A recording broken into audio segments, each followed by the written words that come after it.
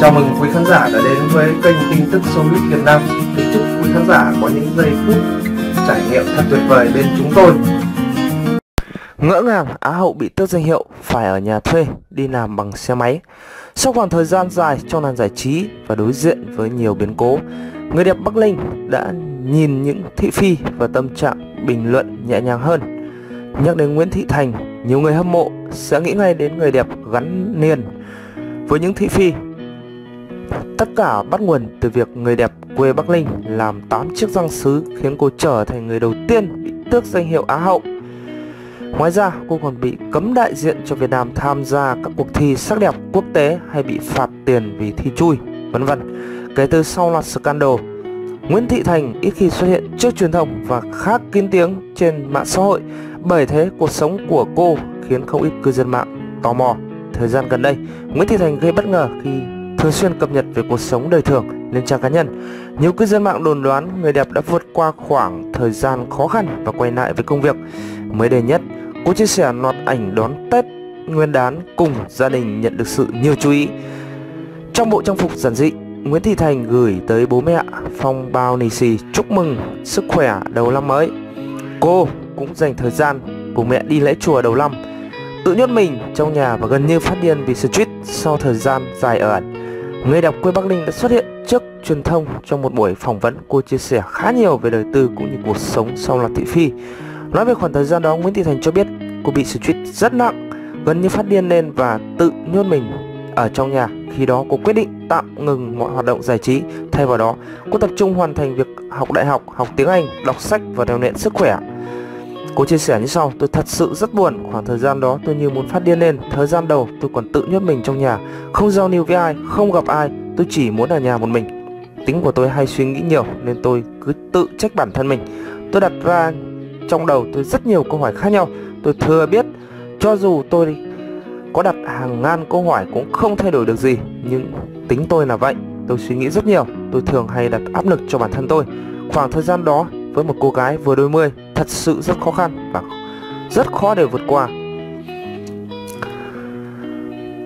Nguyễn Thị Thành cũng cho biết chính gia đình, ba mẹ đã ở bên và giúp cô vượt qua sóng gió dù không được sinh ra trong gia đình khá giả đầy đủ về vật chất nhưng Nguyễn Thị Thành cho biết ba cô là người giàu tình cảm luôn ủng hộ mọi hoạt động của cô. Tôi cảm thấy tôi may mắn khi sinh ra trong một gia đình mặc dù không giàu về vật chất nhưng về tinh thần tôi không bao giờ lo lắng điều gì cả. Ba mẹ luôn động viên tôi những lúc khó khăn như vậy. Có lẽ sau khoảng thời gian dài trong làng giải trí và đối diện với nhiều biến cố, người đẹp Bắc Linh đã nhìn những thị phi với tâm trạng bình thản nhẹ nhàng hơn. Đến giờ vẫn ở nhà thuê và đi làm bằng xe máy. Trước khi được biết đến với vai trò người mẫu, Nguyễn Thị Thành cho biết cô là một sinh viên nghèo vì gia đình không khá giả nên cô vừa đi học vừa đi làm thêm công việc như phục vụ quán bán hàng online để kiếm thêm thu nhập đóng học phí. Sau khi trở thành người mẫu, cô có thu nhập ổn định hơn và lo được gia đình nhiều hơn. Người đẹp tiết lộ cách đây 2 năm cô đã sửa sang căn nhà cho bố mẹ khang trang, rộng rãi hơn. Cô chia sẻ tôi sửa sang nhà cửa cho ba mẹ tôi cách đây khoảng 2 năm khi tôi còn lỗi đã có những hợp đồng quảng cáo và hợp đồng đại diện cho viện thẩm mỹ.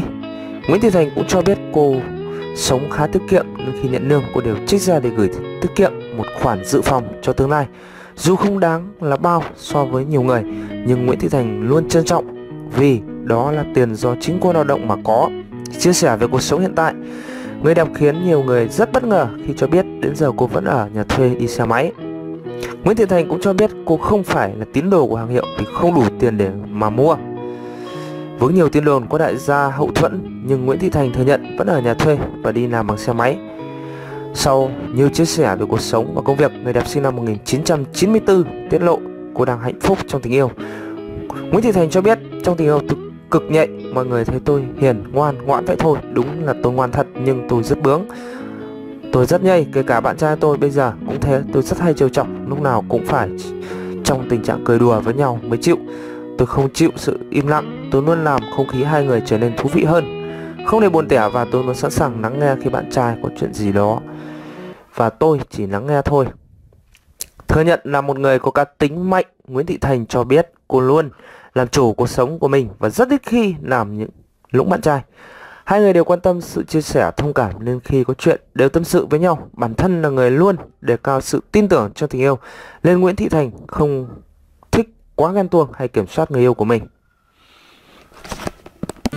Cảm ơn quý khán giả đã theo dõi video clip. Nếu hay, quý vị hãy à, chia sẻ và đăng ký kênh để ủng hộ kênh càng ngày càng phát triển. Xin trân trọng cảm ơn quý vị rất nhiều.